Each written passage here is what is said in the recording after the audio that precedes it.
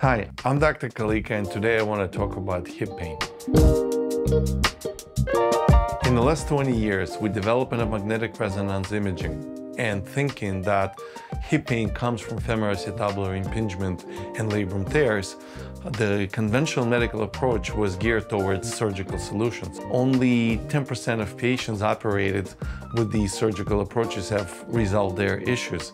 The conservative approach has also failed due to cookie cutter physical therapy application of simplistic approach of strengthening your hip and core and thinking that that's going to resolve your hip issues. Let me now explain the complexity and necessity of comprehensive approach addressing the whole body rather than just the hip.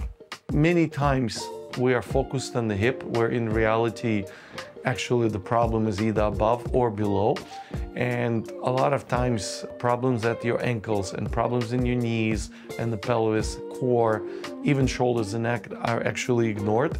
And if you're not addressing uh, walking mechanism holistically, your hip is not going to improve. In our clinic, we use highly individualized physical therapy approaches guided by diagnostic musculoskeletal ultrasonography because it brings precision and control into the physical therapy. We also use ultrasound guided regenerative procedures such as platelet-rich plasma injections, prolotherapy, interfascial plane hydrodissections, as well as nerve hydrodissections, shockwave therapy, and extracorporeal magnetic transduction therapy.